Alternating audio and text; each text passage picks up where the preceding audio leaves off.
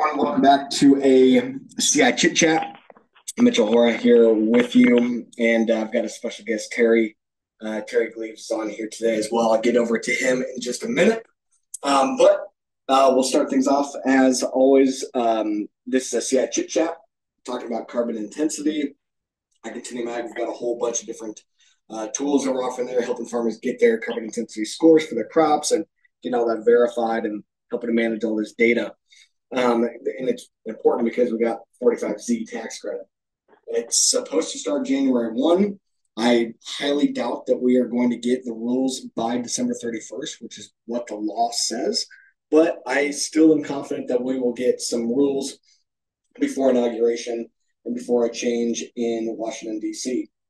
So uh, maybe I uh, double tap into that here for just a second. Um, variety of conversations that we are having um, with folks at, at USDA and just watching stuff online and other folks who are um, tied in with the White House whatnot, talking about the progress that is being made when it comes to creating some of these rules. So, a couple things there. One, this is a tax credit. So, ultimately, the rule comes from the Department of Treasury. It comes from the IRS. So, they get the final say so. Um, and of course, Department of Treasury um, Secretary of Treasury is an appointed position. Um, as we know, there's going to be a lot of change over there. Um, this new guy coming in to take that role is a guy by the name of Scott Bessent. Um, I think I said that right. Um, but he uh, coming in, especially from the investment side of things, and um, from his past, he's not super gung ho on um, biofuels and these and green stuff and these type of tax credits. But uh, we'll see, especially with 45Z, it's got very good bipartisan support, and I think we'll still be able to to work with these guys, but we'll find out. and then the U.S. Department of Ener- U.S. Department of Ag has been helping, and they are definitely creating some rules as well. And we know that one of the rules that they're trying to put out by inauguration is a rule about quantifying the carbon intensity of biofuel feedstocks. So it's literally exactly what we're talking about here. The holdup is that USDA is saying they want to put out a rule about carbon intensity and biofuel feedstocks, but to have it be more all encompassing and a little bit more open um, versus only have it centered around 45Z. So I think that's maybe a little bit of the holdup is they're trying to think more holistically outside of just corn, soybeans, main biofuel crops. Try to think more holistically and trying to put together rules that uh, are going to be broader in scope. But we'll see what they we'll see what they come up with. The stuff that I'm hearing, you know, is that they'll have a rule kind of put together that um, will be a preliminary rule. It's if not going to be hundred percent, um, you know, set in concrete by any means. Um, but I think that's still a good thing. Get the initial rules out there, allow for public comment to start occurring, allow for conversations and feedback to really ramp up and happen. Then you've got a new administration coming in who can ingest all those comments, can work off of them, and develop rules faster. The alternative being nothing gets done between now and inauguration. Trump's people come in and they start from scratch, and the whole thing is just delayed even further than what it already is. So hopefully they do get um, some stuff done and keep making progress there. So we're definitely pushing on that's for sure, and uh, offering our help however they however they want. So um, I think that's the main stuff I wanted to start with here. Why don't uh, if we can, Terry? Do we uh, we got you there? Yeah, yeah, I'm here. Really... Can you hear me? We got you, Terry. Terry Gleaves is with us here today. Okay. Terry, um, you've been, you know, uh, we've been um, hanging out and running the same circles for a number of years here now, and excited to get you on here today. But why don't why don't we just start with Terry? Tell us a little bit about yourself, um, your farm, and you got some stuff off the farm as well. But uh, give yourself a little introduction, and we'll go from there.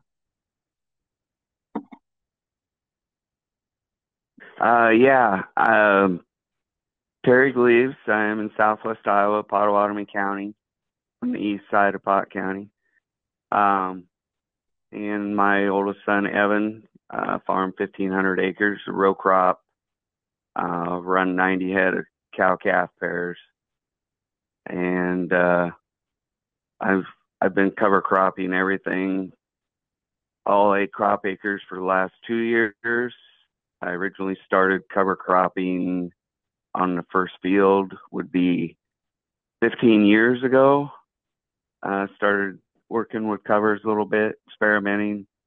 Um, number one maybe was to try the thing around here was to try and uh, to cure ditches or gullies erosion problems and it worked well there and like why am i just doing a little bit of a field let's do whole fields and my goal was from that day forward to increase my acres every year of the covers.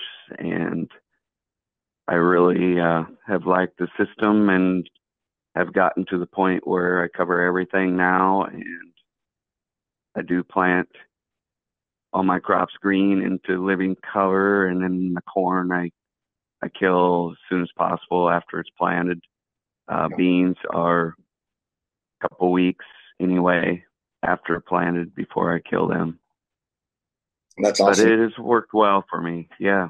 That's great. Yeah, we've similar experience, right? And being able to uh, get it ramped up across every acre and be able to make it work agronomically while getting some of these soil health gains, erosion control, all that good stuff. And and it's and I think on your farm too, you've been seeing uh, seeing some of those soil health gains and whatnot. But especially when we're talking here about data and about telling our story and being utilizing that story to help other people meet their goals, whether that be government meeting their goals or co- helping companies to meet their goals, utilizing our data, uh, we've got a role to play. Have you participated in any of those type of uh, programs, whether it be um, government stuff or um, private sector sustainability programs or carbon stuff where you've been able to leverage this story and the uh, practices that you've been doing on your farm? I have not joined any of the carbon programs. No, I've looked at a lot of them. Um, I guess I was more worried about finding the right fit, and I didn't want to join something that I couldn't get out of because the main goal I think was in the last few years with this uh, 45Z coming forward with your knowledge, uh, targeting that as a great fit for what I do. Um, within, I also I am the district conservationist in East Pot County, so I work for NRCS full time and I've worked a lot with the state soil health people on uh, bringing people to my farm and letting them dig and do the soil health test and teaching other employees uh, how important it is and um, it's really really neat when you see the pictures of the soil structure now from what it was uh, we talk about it all the time, and when you go out there and actually do it and see it, yeah. and the smell and, and texture and everything, it's just uh, something that I really believe in. It's really been good for me. That's awesome. I'm I'm in the same boat, right? Where we started, especially with Continuum Ag, right? Started it focus around soil health, soil health and analysis, especially with the Haney test, and helping farmers implement these practices. and that's super important. I love doing that stuff, right? And we've seen the same thing on our farm over now. Uh, you know, we're more than ten years into cover cropping and uh, long, long time no till, and really seeing those changes occur. Just like you're saying, the texture, the color, yep, the life that you can just see physically in the soil, like it actually is working, and that's what led us, you know, to trying to figure out how do we get more farmers go in this direction, right? How do we get more farmers to understand that we do need to mimic Mother Nature? We need to follow the soil health principles. And over, you know, I've been monitoring some of these carbon programs, sustainability stuff, really since 2019. Get involved in it, and all these programs, they were fine, but they they weren't getting a lot of enrollment. They weren't getting a lot of interest, and there's a lot of concern when it came to the juice now being worth the squeeze. The money wasn't that good for the long term contracts. And what are you signing up for if it's a five or a 10 year kind of thing? That could be really scary. And there's a lot of unknowns in ag, uh, especially when you're talking the time frame of five or 10 years or even more. then there's so many companies that are in that space. Like, who do you trust and who do you want to work with, especially if you are signing long term contracts? And and uh, yeah, for the most part, we've just stayed away from them for years and years. Now we've been moving forward and doing some carbon insetting because they don't have the long term contracts and um, the the money's a little bit better for the ask. Um, but especially with carbon intensity, that's why I love it so much. Is it avoids all that. Like there's an opportunity now that this could be really good money, way better than any of these private share, private uh, uh, carbon programs.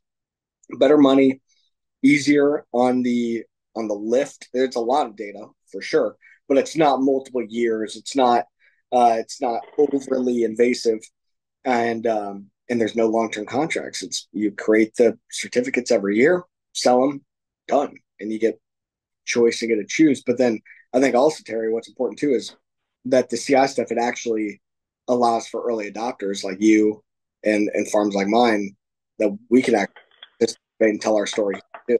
I think the the stars kind of seem to be aligning to an extent to level the playing field, let everybody be able to participate, and everybody be able to get compensated based on how far they want to push their practices. Has that kind of been your take on it? Yeah, definitely, definitely. Um, you know, I I I get why they're feeling like they need to try and open it up a little bigger, wider to reach more farmers. But it's up to the farmer, you know, it's his system what he's doing and if he's not uh doing a lot of it, just doing a few cover crops here and there to try and get a decent score and to cash in a little bit, that's his choice, but I'm not sure that's really what they're after in this deal yeah, they want a lot, right? But what I like about it is a farmer can still start with, all right, let's let's do kind of baby step into it because uh, I've got right horror stories. I think you got some too, right? Of of how we've screwed this up over time as well. But what I like is it's not all or nothing, which is kind of like what the 40B rules were. That's where you had to do the bundle of practices of cover crops, no till, and stabilizers and it was all or nothing, and it would really force people to uh, potentially make some major changes all at one time versus going with a carbon intensity score using the GREET model. The farmer can adopt the practices at their own pace, and yeah, that we want them to, of course, go further faster. You and I being soil health guys, think they get there over time though, because now the carrot is finally big enough that it really incentivizes folks coming to the table and we're definitely seeing that. I don't know. Are you seeing um, some of the the practice adoption picking up in your neck of the woods out there in Western Iowa, or or staying about the same? Yeah, I definitely think uh, we're starting to see a little more here. Um, one reason we've got you know uh, some of these other companies coming in and and pushing guys to do it for the payments, so they're willing to try some cover crops if they haven't done them before, you know, to get some money. And then, then if they try it, then they're like, well, maybe I ought to see if I can uh, do a little more and plan on this for five years or whatever, you know. And, and I think our cover crop contracts are up this last year because people are seeing that uh, overall in this area. You mean your cover crop contract stuff with your NR putting your NRCS hat on? Yes. And people yes. utilizing the, the especially utilizing the Iowa cost share program is what I'm assuming you're talking about, right? Right. right.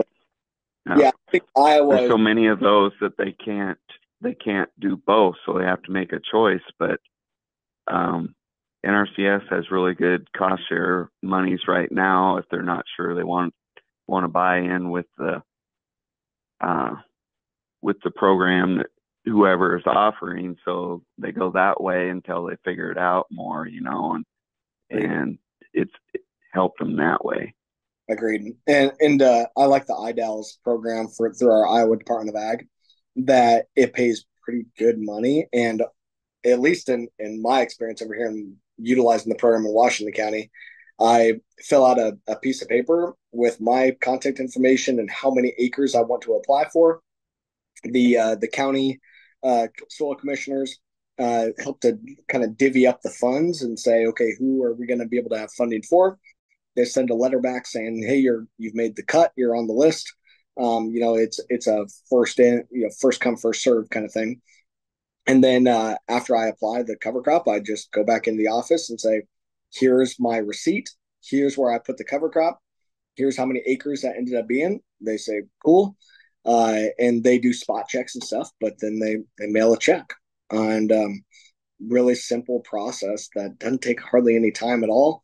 Um, some of the paperwork can now be done just digitally or through DocuSigns and stuff as well, which makes it even easier. And um, and I think that's why it's been so successful. Is it's not an overly cumbersome process to be able to tap into this this Iowa program, and hopefully other states are picking up on that as well. Um, you know, in in comparison to like EQIP or CSP, some of the federal programs that the paperwork can be a big, big lift. Um, but I, I right. way, Terry, I don't know what your thoughts are uh, on. I think the IDALS one is as successful as it is because they've simplified it as much as possible. Yes, definitely.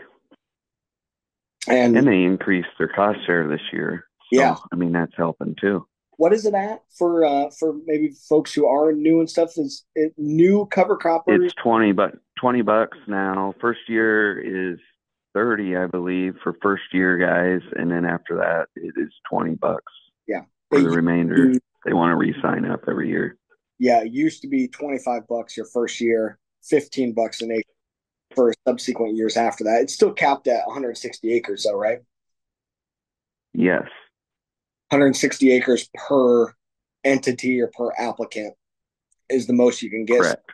Get out right is is uh, you don't have just um, large farms just gobbling up all the acres in, in a county. They're they try to spread it out by capping the number that you can get. But yeah, I think it's been like a really good thing. And and then what I like too is okay, you've got that private cost share, and now there's there's new money coming in, or that there's that public cost share, but now there's new additional programs and money coming in that should be able to stack with that and be able to utilize both programs here, um, and making things hopefully also simple, straightforward, easy, uh, easy going for everyone to be able to participate there. But I don't know. We'll we'll see. What's your take, Terry, specifically on how you guys are approaching uh, 45Z.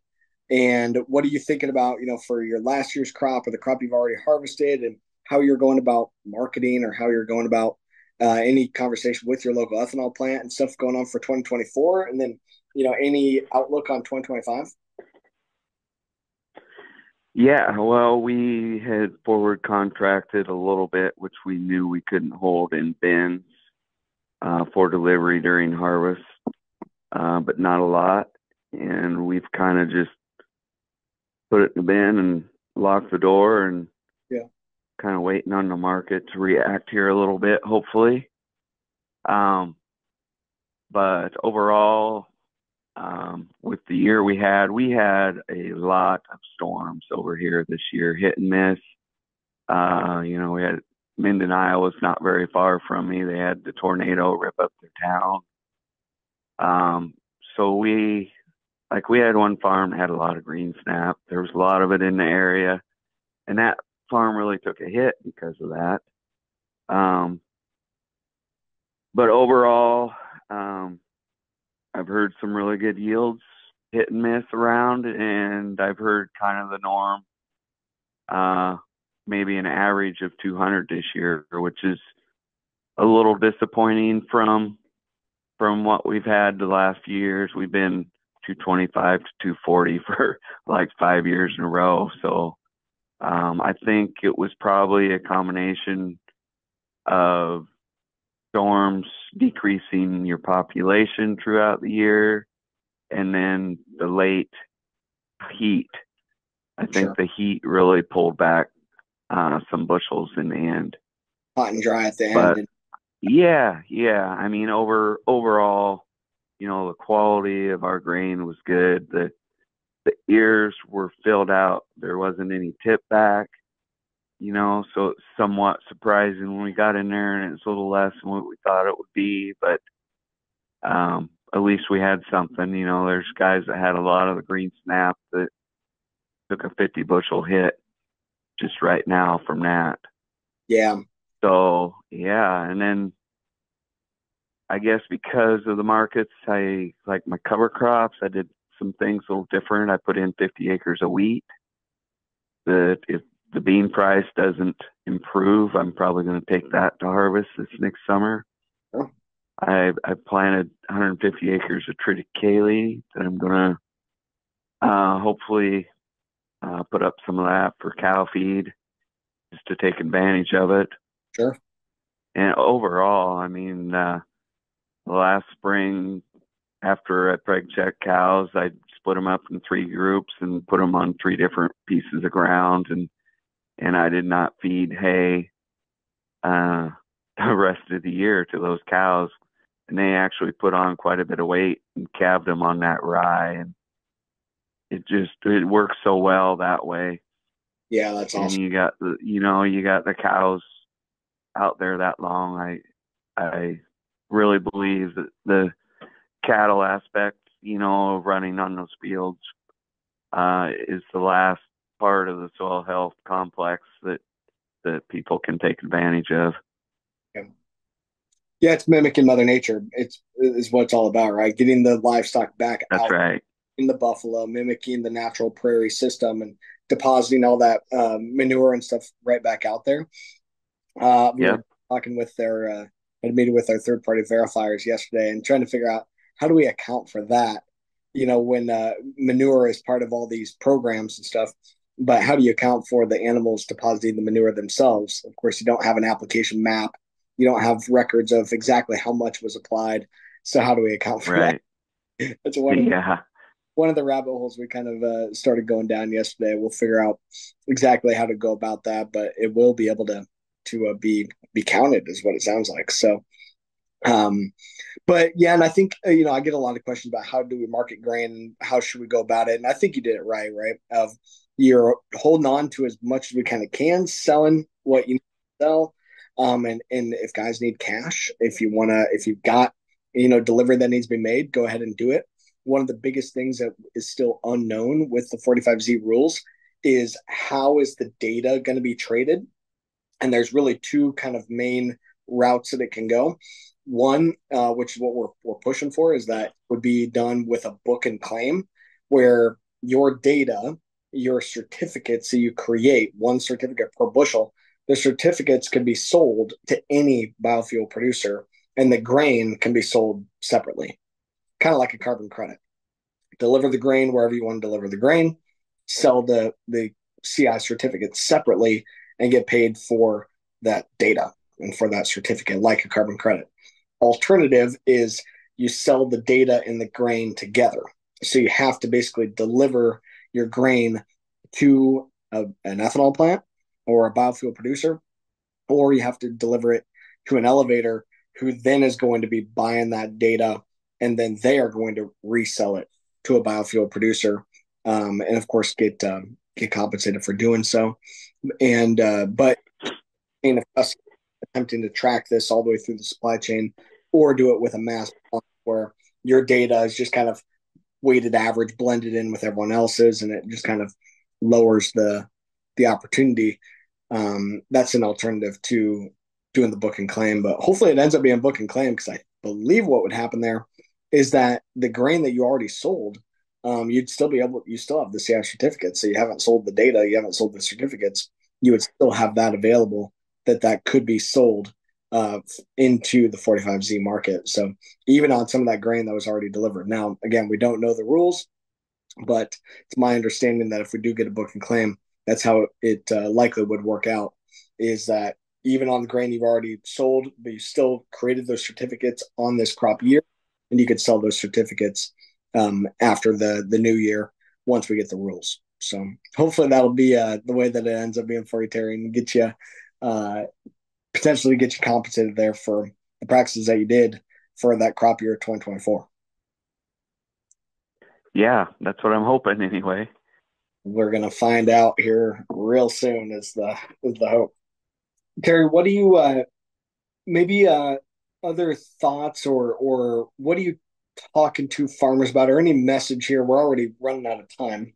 Um, message that uh, your take on some of these programs, or your message to farmers as they're thinking about 45Z or these other programs, or just health practices in general. Yeah, uh, I'm actually getting a lot of that. Um, guys are signing up for some different things.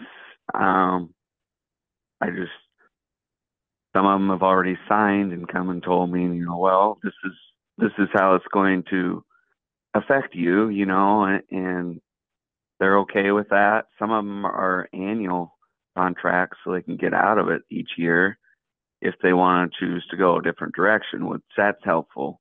Yeah. Um, but I mean, there's a lot of different people around talking to farmers, uh, trying to get in on the action now. It, it's increasing as we speak. I believe this this fall it seems to be a couple more different entities coming into play that are trying to get involved. So um, it's a big big deal for guys. I just tell them to be cautious and make sure you know they're comfortable with their decision because it will affect what else they do going down the road once this 45Z is in place if that was their main goal or not. Yeah. Yeah. It's uh sometimes sign your name on the dotted line, you've got to yeah, you got to sleep in the bed you've made once in a while too. And you might end up leaving money right. or you might end up of of making the wrong decision and you got to be able to live with that. Um, but I think you're right in encouraging folks make sure that the contracts that you, if you are signing up a contract for some type of a carbon program, make sure you understand uh, the length of the term. Make sure you understand how to get out of the contract if you need to get out of it, or if you need to change things up. Uh, to make sure you have flexibility or as much flexibility as possible, because this uh, keeps changing. There's a lot of dust that still has to settle here, and um, hopefully we keep getting more clarity over the coming 50 days between now and inauguration. But um, we're gonna be we're gonna be monitoring it closely. So, and we'll keep sharing it here um, on these chit chats and sharing our perspective and trying to get other folks' perspective. Terry, I think you I think you're thinking about the right way, and um, it all does boil down to, of course, those soil health principles, and that's the tried and true. Right, and I think that's my uh, final thought here for today is, uh, yeah, we're we're chasing some of these programs, chasing some of this money, and um, I, I think we got to take opportunity where we can where we can get it. But at the end of the day, those programs and stuff, the, the chasing the money, it's going to continue to be a moving target. The goalposts are going to change, programs are going to come and go, dollar amounts are going to change. It's going to be a, an ongoing battle year over year over year. What's consistent is the soil health principles. And that's what we can control. We can continue to control our agronomy. We can continue to control how we are implementing the principles, how we are working to build soil health, and through building soil health, building in resiliency into our soils, resilience into our finances, resilience against Mother Nature and whatever she's going to throw at us from a weather perspective year over year, and uh, and try to capitalize on whatever the, the program is at that time. But the soil health principles is really what this boils down to, and I just see this as the best opportunity to get more folks to understand that and bring more folks to uh, onto that soil health journey, and um, because that's that's really where the long term family farm profitability is going to come from. So, uh, okay, well, we'll have a, another chit chat here. We're not doing one next week, um, but the week after is our 50th episode. And uh, I don't know if we've announced it yet, but we'll give you all a sneak preview here. We've got uh, the Millennial Farmer is joining me for episode number 50. Uh, my buddy Zach Johnson. Zach and I have done a bunch of podcasts together in the past, but it's been a while. So we got Tim coming on for the 50th episode. Um, should be a really good time. That'll be December 17th, Tuesday morning, same time, 7:45, just like normal. But uh, Terry, it's been great to have you on here today as well. And uh, hopefully you, stay warm out there in Western Iowa today um, and, and have a great rest of the year and, and into the Christmas season and, and now into uh, what will hopefully be an even, maybe we'll get you guys back to your amazing yields that you've had over the last five years out there in Western Iowa. Get you some of that back here in 2025. Yeah, sounds good. Yeah, thank you, Mitchell, for the opportunity to be on here, and and it's great talking to you. Always, always a pleasure, Terry. We'll talk to you soon. Thanks, everybody. See you next time.